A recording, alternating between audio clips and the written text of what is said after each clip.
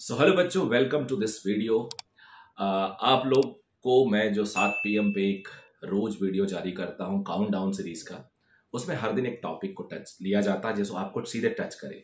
तो आज का टॉपिक जो है, वो बड़ा थोड़ा सा यू नो नेगेटिव है। हालाँकि नेगेटिव टॉपिक से मैं बचता हूँ, लेकिन इसको नेगेटिव से ही हम इसको पॉजिटिव करेंगे। और वो है कि अभी भी आप गलती कर रहे हो। ये सारे उन सारे नीट एस्पिरेंट्स के लिए है, जो गेस करो क्या? वीडियो को रोको और क्या क्या गलती आप कर रहे हो, ये सोचो। और अगर आपने अपनी गलतियाँ आइडेंटिफाई कर ली तो पर्पस एकदम सॉल्व हो जाएगा इस वीडियो का। और बिलीव मी इस वीडियो के लिए मैंने बहुत ज़्यादा सोचा नहीं है। ये बहुत रैंडम थॉट है और उन सारे एक्सपीरियंस को रिलेट करेगा जो टेस्ट दे रहे हैं। और वो ये गलती है कि टेस्ट का छोड़ना। और ये एज्यूम करना कि पहले सिलेबस कंप्लीट कर लें, फिर टेस्ट दें। पहले सिलेबस कंप्लीट कर दे, फिर टेस्ट दे, ये जो थॉट है, बहुत ही नेगेटिव थॉट है। क्योंकि टेस्ट रखा ही जाता है सिलेबस को कंप्लीट करने के लिए। टेस्ट रखा ही जाता है सिलेबस को कंप्लीट करने के लिए। पहले अगर हमने, जैसे मेरा टेस्ट सीरीज़ है, नीचे उसका लिंक दे दूँगा वीडियो का, पूरी टेस्ट सीरीज़ हम स्टार्ट कर रहे हैं, वो देखना आप। उस टेस्ट सीरीज़ को हमने बहुत साइंटिफिकली प्लान किया। मान लो मैं अपने टेस्ट सीरीज़ की बात करता हूँ। सेकेंड ऑफ़ जून को पहला टेस्ट है। जब सेकेंड ऑफ़ जून को हम पहला टेस्ट ले रहे हैं तो फ़र्स्ट टेस्ट में आपको दिया जा रहा है टाइम तैयारी करने का। उसमें दो दो टॉपिक आ रहे हैं। और अगला टेस्ट है फोर्थ को, और उसमें भी दो दो टॉपिक आ रहे हैं। तो पूरा फ़र्स्ट टेस्ट देने के बाद, यानी दो तारीख के पाँच बज के बीस मिनट के बाद you will be free till fourth उस पूरे ड्यूरेशन में आप वो सिलेबस तैयार करो। तो जो पार्ट टेस्ट दिया है मैंने तो पाँच पार्ट टेस्ट दिए इलेवंथ के, पाँच ट्वेल्थ के। फिर छठवां भी उसी का कॉम्बिनेशन है।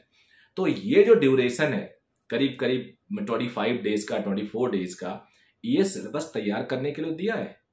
अब इसके लिए आपको स्पेशली सिलेबस तैयार करना, फिर टेस्ट लिखना है तो ये आप गलती कर रहे हो। और इस वीडियो में मैंने यही पॉइंट आउट किया है कि प्लीज़ ये गलती मत करो, क्योंकि ये गलती हम लोग हर साल देखते हैं लोगों को करते हुए और हर साल देखते हैं टैलेंट को बिखरते हुए। ऐसा जो डिजर्विंग बच्चा जो डॉक्टर बन सकता था, उसको हमने बर्बाद होते हुए देखा है। उसका सिलेक्शन रुकते हुए देखा है। और ये छोटी छोटी जो गलतियाँ हैं, ये आप एक्सपेक्ट करिए कि ये गलतियाँ आपसे ना हो। आज हम लोग आपको बता रहे हैं। और मैं ऐसा कुछ है तो बताऊँगा नहीं जो गलत हो। अपने रेपुटेशन को खराब तो करूँगा नहीं, क्योंकि मैं यही पढ़ा ही रहा हूँ। काम ही यही है, आगे भी यही काम होगा। तो गलत बताऊँगा तो अगले साल आप तो लोगों को बोलोगे तो झूठ बोलते हैं। ये प्योर आपके फेवर में है।